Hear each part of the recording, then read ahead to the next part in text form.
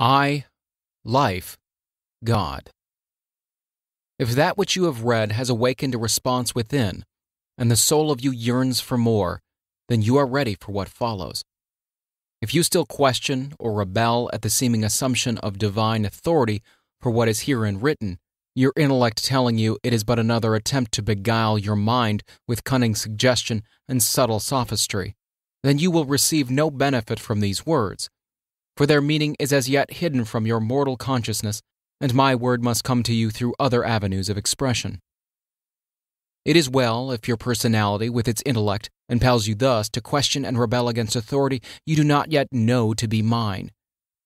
It is really I who cause your personality thus to rebel, for your personality, with its proud sense of individuality, is still needed by me to develop a mind and body strong enough that they can perfectly express me. Until you have become prepared to know me, it is but natural for your personality thus to question and rebel. Once you recognize my authority, that moment the undermining of the authority of the personality has begun. The days of its domination are numbered, and you will more and more turn to me for help and guidance. Therefore, be not dismayed. Read on, and the recognition will come. But know that you can read or not, as you choose, but if you do, it is really I who choose, and not you. For you, who seemingly choose not to read further, I have plans, and in due season you shall learn that whatever you do, or like, or desire, it is I leading you through all the fallacies and illusions of the personality, that you may finally awaken to their unreality, and then turn to me as the one and only reality. Then these words will find a response within Be still and know I am God. Yes, I am that innermost part of you that sits within and calmly waits and watches, knowing neither time nor space, for I am the eternal and fill all space. I watch and wait for you to be done with your petty human follies and weaknesses, with your vain longings, ambitions, and regrets, knowing that will come in time, and then you will turn to me, weary, discouraged, empty, and humble, and ask me to take the lead, not realizing that I have been leading you all the time. Yes, I sit here within, quietly waiting for this. Yet while waiting, it was really I who directed all your ways, who inspired all your thoughts and acts, in personally utilizing and manipulating each so as eventually to bring you and my other human expressions to a final conscious recognition of me. Yes, I have been within always, deep within your heart. I have been with you through all, through your joys and heartaches, your successes and mistakes, through your evil doing, your shame, your crimes against your brother and against God, as you thought. I, whether you went straight ahead, or straight aside, or stepped backward, it was I who brought you through. It was I who urged you on by the glimpse of me in the dim distance. It was I who lured you by a vision of me in some bewitching face or beautiful body, or intoxicating pleasure, or overpowering ambition.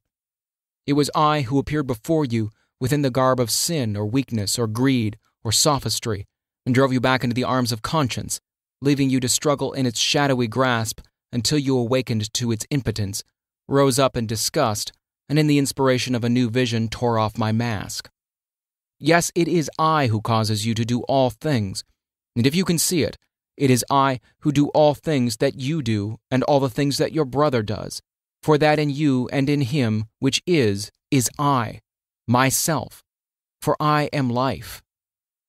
I am the innermost, the spirit, the animating cause of your being, of all life, of all living things, both visible and invisible. There is nothing dead, for I, the impersonal One, am all that there is. I am infinite and wholly unconfined. The universe is my body, all the intelligence there is emanates from my mind. All the love there is flows from my heart. All the power there is is but my will in action. The threefold force, manifesting as all wisdom, all love, all power, or if you will, as light, heat, and energy, that which holds together all forms and is back of and in all expressions and phases of life, is but the manifestation of myself in the act or state of being. Nothing can be without manifesting and expressing some phase of me, who am not only the builder of all forms, but the dweller in each. In the heart of each I dwell, in the heart of the human, in the heart of the animal, in the heart of the flower, in the heart of the stone. In the heart of each I live and move and have my being, and from out the heart of each I send forth that phase of me I desire to express, and which manifests in the outer world as a stone, a flower, an animal, a man. Is there nothing then but this great I? Am I to be permitted no individuality for myself? I hear you ask. No, there is nothing, absolutely nothing, that is not a part of me, controlled and ruled eternally by me, the one infinite reality. As for your so called individuality, that is nothing but your personality still seeking to maintain a separate existence. Soon you shall know there is no individuality apart from my individuality, and all personality shall fade away into my divine impersonality. Yes, and you shall soon reach that state of awakening where you will get a glimpse of my impersonality, and you will then desire no individuality, no separation for yourself, for you will see that it is but one more illusion of the personality.